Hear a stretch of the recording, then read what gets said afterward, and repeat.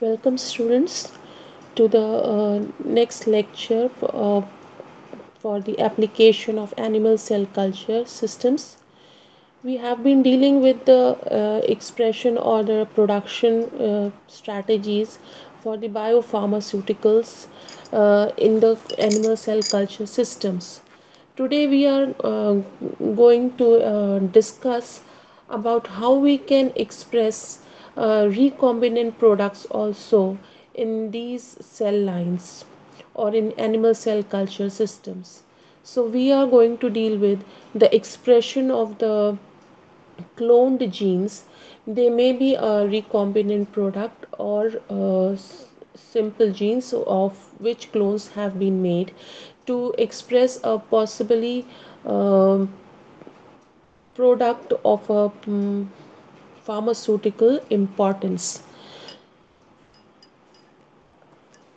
So now when we are selecting uh, an expression system the, in which our gene of interest would be expressed, we first need to uh, think of some of the factors or uh, the situations, the conditions that we need to set up before we try to express a uh, gene of interest.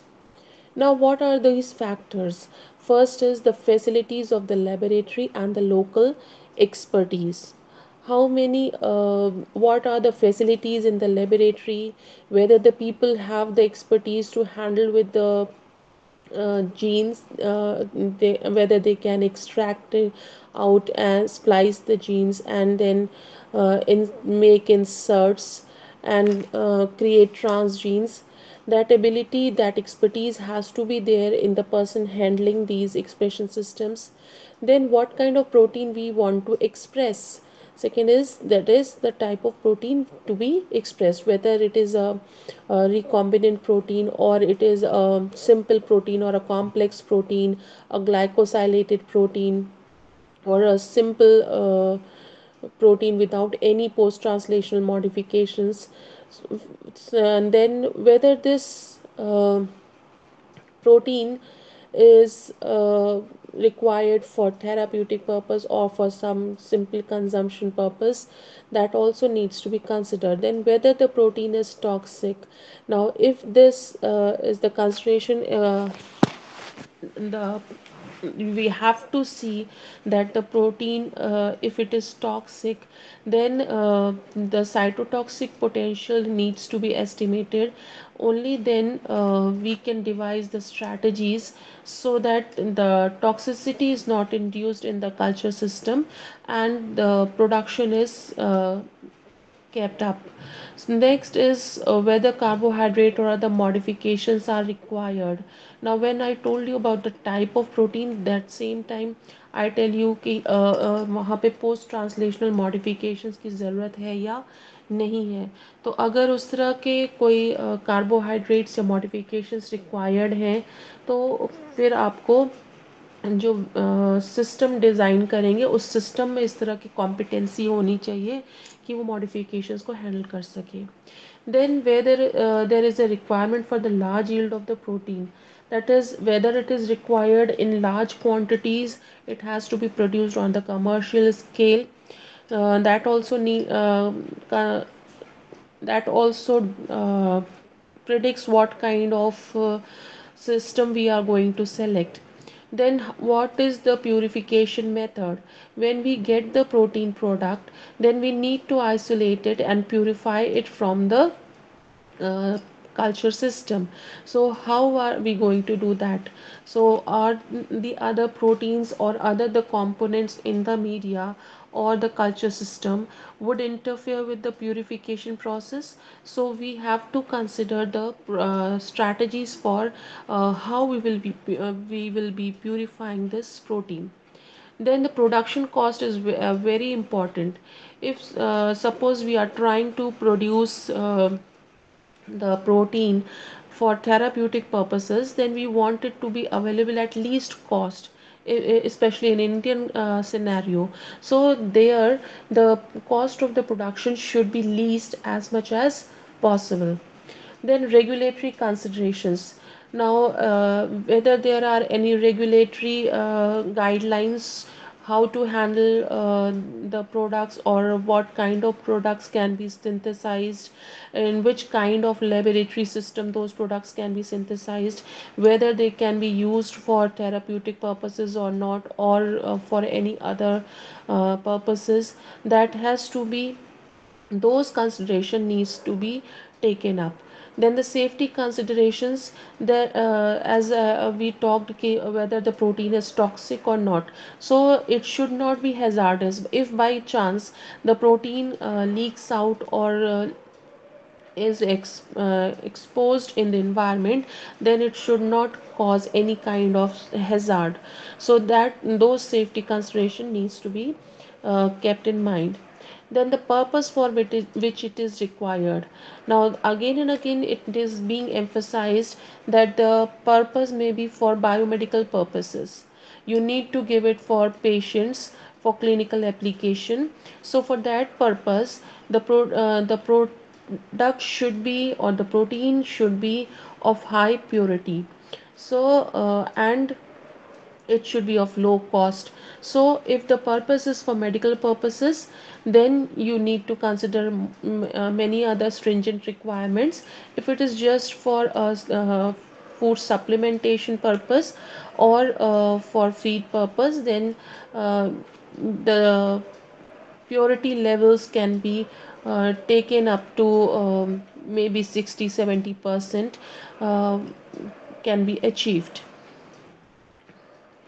now uh, when we are talking of the expression systems then there can be two types of expression systems where uh, uh, uh you want to express the protein transiently in the expression system. There may be expression is just for a particular duration. And uh, this uh, expression is not passed on to the next generation so uh, this kind of expression would be a transient expression system. Other may be the stable expression system where the transgene is inserted into the genetic component of the host and uh, it causes uh, transformation of the uh, host cells so that the components are passed on from one generation to the other generation. Now this the this kind of transformation is different from oncogenic transformation where the cell lines are transformed to become cancerous or tumorous. So uh, the transformation is not in terms of uh, oncogenic transformation. Rather it is in the uh, transformation in the terms of uh, expressing more uh, more protein of a particular gene. So uh, so we have two systems the transient expression system and the stable expression system. So for transient expression system it allows the the expression system should allow the transcription as well as the translation of a foreign gene into the, in the host. Now for transient gene expression the transfected nucleic acid is not permanently incorporated into the cell's dna and it is the largest uh, it is most widely uh, used method for large scale production of the therapeutic proteins or for new uh, for designing new proteins and uh, studying them and evaluating them for uh, their biochemical or uh, biomedical aspects. Now, uh, the important features of this transient expression system is that they uh, they need to be able to produce the product in extremely short time frame. Then they should be applicable to a wide range of host cell lines. Now, if you want an expression system to work, it should have a broad range of host cells. It should, uh, it is not that if you are applying this to a one particular cell line, then that uh, vector uh, is applicable for that particular cell line only. Rather, it should be applicable for more than one kind of a cell line so simple if you design one vector or you you design one expression system that expression system should be able to be incorporated into a number of various host cell lines suppose uh, if it is available in CHO cell lines then it should also be uh, able to insert the transgene into the Vero cell lines or the HeLa cell lines or any kind of insect cell line or murine cell line. Now, uh, the third important factor needs to be considered is the intrinsic genetic stability uh, and consistency due to extremely short time frame between the generation of the vector and the product recovery. So there should be consistency because we are having very short duration from uh, when the vector is being generated and when the it is being in, uh, inserted into the host and then the product is being recovered. So uh, that duration is very small. So that uh, expression system should be genetically very stable and uh, it should be able to produce the product in that minimum time duration also then it should be uh, suitable for multiple processing. That is if you want to study many kinds of genes or mutants at the same time that uh, expression system should support those multiple genes or multiple transgenes or inserts so that these studies are possible. Then the construction of the expression vector should be very simple. The structural components should be uh, very few and they should be uh, is, uh, easy in construction. Now these uh, vectors have to overexpress the protein. So uh, when we construct these expression vectors then a strong promoter should be uh, give placed upstream of the clone gene and a strong termination should be placed at the end of the gene. So when we do this that a very strong promoter and a very strong terminator are put together then the expression of the protein is uh, upregulated to many folds Next, uh, the requirements for a mammalian expression system. Now, as I've told you, there should be a very strong promoter, very strong terminator. Now, what are these comp uh, what are these forming? These are forming an expression cassette. Now, this expression cassette is a distinct component of the vector DNA consisting of gene and the regulatory sequence to be expressed by the transfected cell and it comprises of three components. Now what are the three components? It should have a promoter sequence, an open reading frame and a 3' untranslated region that in eukaryotes usually contains a polyadenylation site. That is you have um, the transcription regulatory regions, you have the translation regulating regions so those uh, regions should be well identified in the expression cassette. So it has an enhancer system it has a promoter system then it has a 5 prime untranscribed region that uh, then the proton uh, the protein coding region or the open reading frame should be there and there should be a stop or a terminator region and when a mature protein has to be formed then there should be a uh, polyadenylation site. So the expression level of the gene will depend on how efficiently it is being transcribed.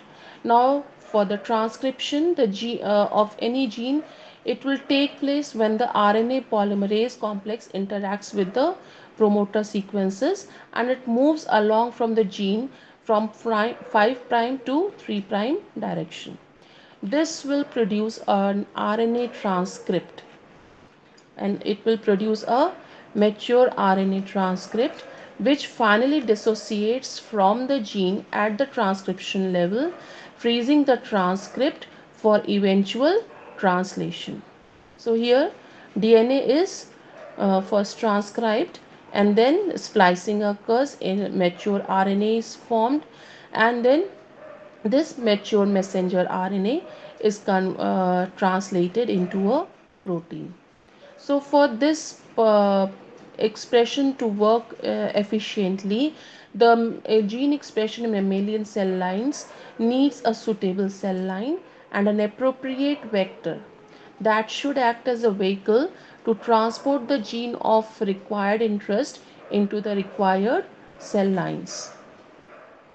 Now cell lines, uh, as we have discussed in last lectures also, now most of the bioprocesses based on mammalian cells uh, are used for the manufacture of bio- viral vaccines, diagnostics or therapeutic proteins. So we have already discussed about biopharmaceuticals. So we have discussed some of the cell lines. Most prominently we discussed about the chinese hamster ovary cells the cho cells. Then there are other cells also the mouse myeloma cells including ns0 or the sp20 cells hek293 cells. Now these cell lines can be transfected using polyethylene amine or calcium phosphate. Now when we discuss about the methods then we will discuss about these uh, also uh, what are these methods. Now basically when you are introducing the transgene into the host then the, um, most prominently in the eukaryotic cells then the process is known as transfection. Now this transfection can be carried out by either chemical means or by physical means or uh, it can also be a viral mediated transfection where we call it as transduction. Now these uh, methods can, are widely used for production of the recombinant proteins both for transient transfection as well as by the formation of stable cell lines. Now these can um the other cell lines that we uh, normally use is uh, COS cell line or the Vero cell line, both from green African monkey kidney cells or the HeLa that is from human cervical cancer or the NS0 from the mouse myeloma, myeloma cells which have been used for the structural studies. Now, um, Transfection can also be achieved by physical means like electroporation and this is uh, particularly useful for developing stable cell lines. Now main advantages uh, of the mammalian cell expression is that, that the signals for synthesis, processing and the secretion of eukaryotic proteins are properly and efficiently recognized by mammalian cells. Now we discussed when we were discussing biopharmaceuticals, I told you that post-translational modifications are very important. And when these post-translational modifications are similar to uh, are more similar or more close to the human counterpart human body uh, the protein that is being synthesized within the body then only it will not generate any kind of immunogenic response. So uh, here the advantage is that the signals are uh, or the post translational modifications or the generation steps are very much similar to those in the mammalian uh, cell body now these cell lines uh, are very expensive so development of cost effective and efficient cell lines that could be pro uh, producing high quality of protein need to be developed when we use this kind of system. Next uh, we come to the vectors now. When we are trying to insert a gene into a host a transgene possibly into a host then we need uh, some vectors that will uh, carry this foreign dna segment to the host now these are known as vectors now uh, the dna of interest is first cloned into these appropriate vectors and then it is transfected or uh, the gene is inserted into the host for its expression. So now for expressing heterologous genes in mammalian cells, now these uh, vectors are usually derived from mammalian viruses. Now, these viruses may include your simian virus 40 or the polyoma viruses or the herpes virus or the pepoviruses. And uh, in order to construct these kind of vectors, it is a required to select an efficient promoter and also tag with uh, these mm, uh, vectors with a selection marker so that the purification step can become simple. Now there are various kinds of vectors that we uh, can use for these um, transfection, uh, transfection purposes. They may be plasmid based expression vectors. Now plasmids, uh, as you know, they are extra chromosomal uh, heritable uh, DNA molecules. Now, these can be used as expre uh, standard expression vectors that contain strong viral promoters and uh, they can express recombinant proteins. Now, uh, presently, uh, recently, there has been at least one non-viral promoter, the elongation factor 1 promoter that has received strong endorsements because uh, it appears to be as strong or stronger than some viral promoters.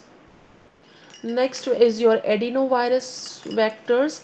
Now the adenovirus is your medium, medium sized uh, non-enveloped icosahedral virus composed of a nucleocapsid and a double-stranded linear DNA genome that can be used as a cloning vector. Now for this purpose, uh, uh, the early regions E1 and E3 have been deleted now we don't want these viral uh, particles to replicate or um, cause any kind of infection in the host so these regions are uh, deleted and this makes the virus replication incompetent and this function must then be provided in, in trans by the host cell. Now an expression cassette is set in the place of this deleted E1 region and in the cassette the recombinant gene is placed under the control of an additional ectopic major late promoter or under control of an exogenous promoter such as cytomegalovirus. Now this uh, adenovirus can be very useful for a large scale work uh, on commercial basis we can use it as it can be easily propagated in the cell suspension cell cultures. Next is your vaccinia vectors. The genome of the vaccinia vector is made up of double-stranded DNA and it replicates in the cytoplasm of the host cells. Now when it infects the cells, then it produces up to 500 virus particles per cell, which leads to high levels of recombinant protein expression. So it can be very efficiently used at very large scales, about 1000 liters of capacity to produce many different kinds of proteins. Uh, one of them may be your human prothrombin uh, by ImmunoAG. Then uh, in addition we can also use retroviral vectors.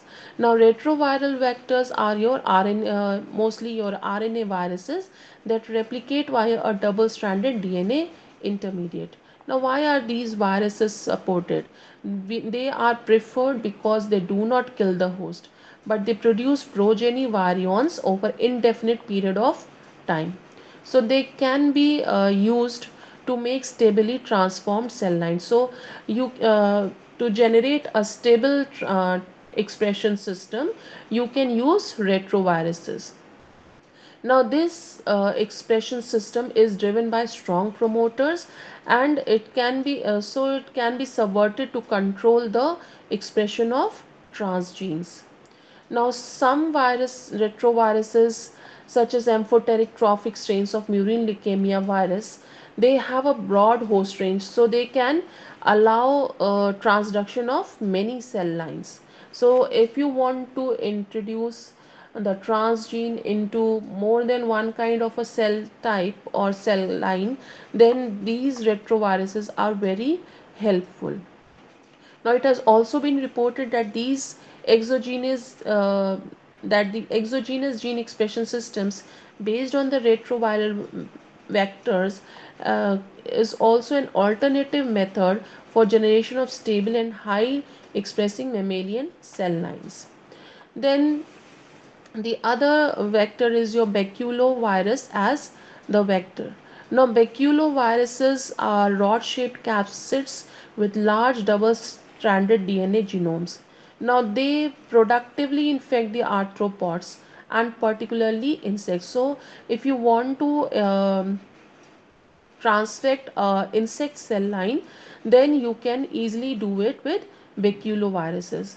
Now insect cell lines have a very high um, rate of replication. So uh, they can generate very fast. So they are very uh, good uh, uh host when we want to produce large quantities of uh, biopharmaceuticals so most commonly the uh, two baculoviruses have been developed as vectors.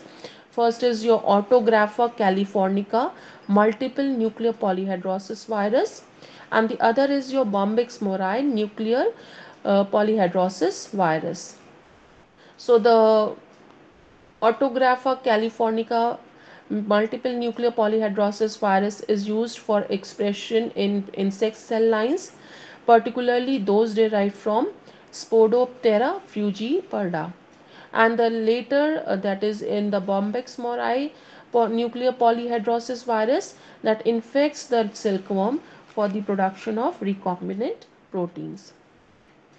The uh, construction and application of recombinant baculoviruses contain a bicistronic expression cassette that can be used for uh, stable protein expression in mammalian cells. Now, uh, the processes or the methods for the transfer of gene, how can you put this transgene into the host cell? Now, it will depend, the method will depend upon the type of vector that you are going to use for the introduction purpose and on the control elements utilized for the efficient messenger RNA expression and protein synthesis. So insertion is not only important, it is also important that the gene be expressed as a, um, it should be transcribed and as well as translated. So these uh, the introduction uh, the choice of the vector then the control system for the transcription and the translation all the three uh, determine which kind of process we are going to use. So we generally have two methods for introduction of the foreign DNA into the mammalian cells. One is mediated by the virus infection that uh, I've told you so many vectors I have we have discussed already. So that is by transduction. And other is by the direct transfer of the DNA into the cells employing chemical liposomes. So you have lipid mediated insertion of the uh, transgene into the host cell or it may be uh, by calcium phosphate so you have the polymers or the calcium uh, phosphate where the precipitation occurs on the surface and the uh, gene of interest is transported into the cell. Another uh, method, chemical method is your DEAE dextran mediated and polybrine mediated methods.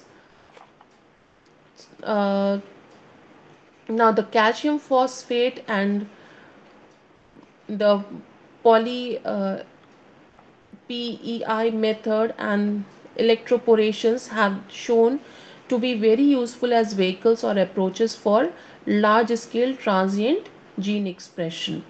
Now electroporation is you are making pores into the plasma membrane and it is a physical method by which you can uh, transfect the host cells. So uh, these pores allow the insertion of the transgene into the host. Then another physical method is your micro injection using microneedles. So uh, you can directly insert the transgene into the nucleus of the host where it can uh, where it can be expressed. Now, these methods, the chemical methods, uh, they achieve the DNA transfer by forming complexes with DNA under suitable conditions and these complexes are then taken up by the cells through the endocytosis. So that is a summarized uh, diagram for the chemical transfection.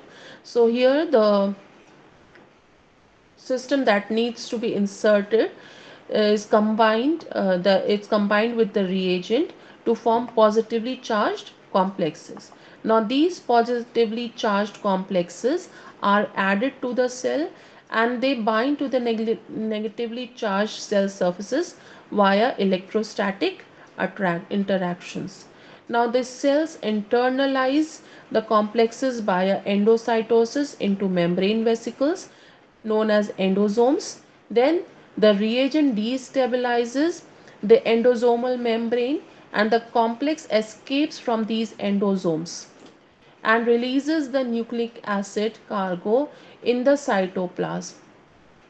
And then it this uh, cargo is then localized to the nucleus where the gene expression cassette is transcribed. Now the applications we have generally uh, we have discussed many of the applications in the last lecture on the biopharmaceuticals. The these are mostly your plasminogen activator that has been the very first one approved biologic that is tissue plasminogen activator that was synthesized. Besides that now we have also uh, many kind of monoclonal antibodies that we can use uh, we can produce in the African green monkey kidney cells COS cells for the primary preliminary investigations. Now these cells are not very suitable for large scale production because they lose production ability over the time so large scale production is to be achieved in CHO cells which have assumed increasing importance in the laboratory scale productions now these the yields of these antibodies can be increased by using heterologous promoters, enhancers and amplifiable genetic markers. Now use of uh, low copy number cell lines also yields high level of chimeric antibodies and recombinant antibody fragments. Another application is the production of urokinase which uh, is a prominent antithromboembolic drug and it is also mostly produced in the CHO cells. Then next is the production of the follicle stimulating hormone. Now besides uh, the therapeutic application uh, in infertility, the recombinant gonadotropins have also been used for studying structure and function of the glycoprotein hormones. Now these uh, products that are being synthesized, they are free from contaminating hormones and the structure and function can be studied extensively because of their availability in uh, large quantities. So they can, uh, mostly they have been achieved uh, the recombinant rat, rat, FSH has been produced effectively in the CHO cells and it has been purified and characterized functionally uh, in most of the um, studies.